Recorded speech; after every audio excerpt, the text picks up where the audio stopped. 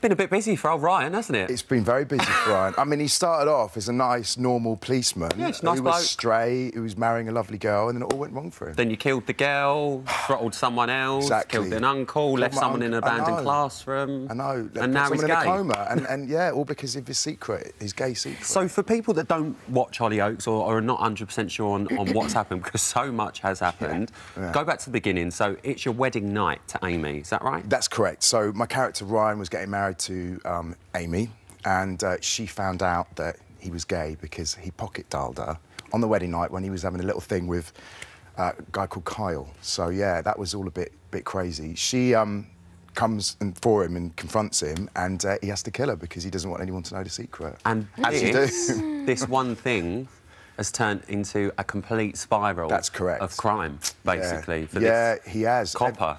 Everybody that's basically tried to find out about him, he's had to silence them, including his lovely uncle.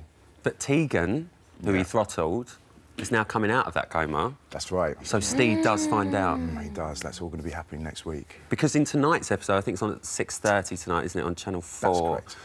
You you know, you've, you've got that sense something's going to happen here. I'm, I'm worried now. I'm, I'm really in deep. Yeah. We need to get away. Yeah. So you try and flee to Brazil. That's right, as you do. Yeah, Let's casual. Just, just go to Brazil. Yeah. No? It's nice this time Nice, of year. isn't it? It's nice. Do you get there?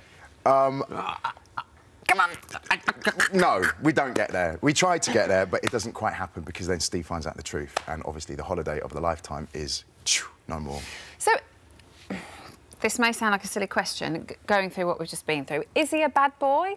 Or is he just battling a lot of demons? Oh, he's a lovely boy. No, but do you know, do- he, he's I a know complex mean. character, He is, not he? Do you know what? Ryan, Ryan is really complex, but fact of the matter is he's killed innocent people, so he has to be punished at some point. And Yeah. um, all I'm going to say is a little teaser: there will be another death.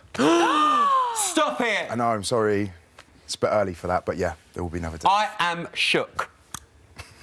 I'm shook. Another. How can this go? I, I don't know what to say. I really don't know what to say. There to will be another death. It's Hollyoaks. Of course, there's going to be another death. Why can't they just have like a village fair where everything's lovely, like the Vicar of Dibley? Do I you know, know, what I mean? Right? It's No, just never going to be like. it's never going to be like it's Hollyoaks. So yeah. So a But- comeuppance is coming. A comeuppance is coming, but I've got to say we're really excited because we've just been nominated for a BAFTA. I know, So that's it's such so a huge accolade for us because you know we're not one of the the main big soaps out there, but Yeah. you know we we work really hard and we. Everybody is just amazing and, and puts 110% into it. And it's like a family up there. So for us to get nominated over some other soaps, we're just really, Yeah. really, it's a really nice proud. little cherry, yeah. cherry on top for you. But this sort of the, the, the character of Ryan, and obviously the reason why this is all spiraled out of control is because of the uh, lack of confidence with the sexuality, and obviously Mm. that storyline coming out. Obviously, you you've been very open in the past about your battles with Yeah. hiding your own sexuality, Yeah, and obviously I'll- now you're very happy. But did I that am. your sort of real life play into the, the character a little bit? I wouldn't say it played into the character because I've never killed anyone No. in Ireland, but just the sexuality, not but the death. The sexuality thing, yeah. I mean, look, I was ten years ago. I was really frightened to come out. I was in a mm. boy band. We were- we had millions of fans all around the world, mainly women, and I was really frightened because I thought I can't come out because everyone's going to hate me, and I had in my head this stupid thing that I'm going to let the boys down, I'm going to let the record company down. I was worried about everything, and you just carry this weight on you, don't you? That you think, oh my god, it's so big. But then when I came out, I realised it wasn't big at all, and nobody really cared. Mm. And I was just like, what, what was I worrying about for all those years? And I Yeah. think my character, Ryan, he's gone through that same thing. He's realised that actually, if he'd have just been true to himself, none of this would have happened. He wouldn't have killed anybody. He would have dealt with his sexuality in the correct way, and it, it, his life would have been completely different.